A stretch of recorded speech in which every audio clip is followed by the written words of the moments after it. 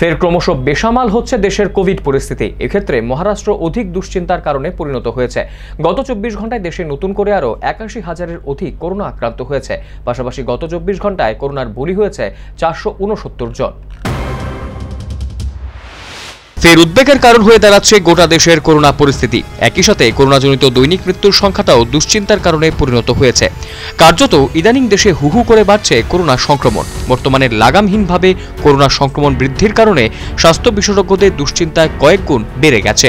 এই অবস্থায় গত চব্বিশ ঘন্টায় দেশে নতুন করে আরও একাশি হাজার চারশো ছেষট্টি জন করোনা সংক্রমিত হয়েছেন বলে শুক্রবার সকালে কেন্দ্রীয় স্বাস্থ্য মন্ত্রকের মেডিকেল বুলেটিনে জানানো হয়েছে। বৃহস্পতিবার এই সংখ্যাটা ছিল বাহাত্তর হাজারের ঘরে। পাশাপাশি গত চব্বিশ ঘন্টায় দেশে আরও চারশো উনসত্তর জন করোনার বলি হয়েছেন।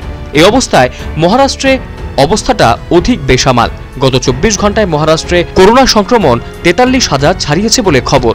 কার্যত করোনার নতুন স্ট্রেনের দৌলতে বর্তমান পরিস্থিতি এই আকার ধারণ করছে বলে স্বাস্থ্য বিশেষজ্ঞদের অভিমত। এর মধ্যে একাংশ সাধারণের অসচেতনতার কারণে দেশে করোনা অধিক বিস্তার লাভ করতে শুরু করেছে বলেও বিশেষজ্ঞদের অভিমত।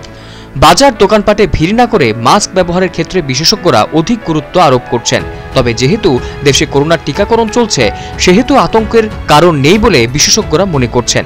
এ পর্যন্ত দেশে ছ কোটি সাতাশি লক্ষ মানুষ করোনার টিকা ডোজ পেয়েছেন বলে জানিয়েছে স্বাস্থ্য মন্ত্রক। Bureau report, news Vanguard.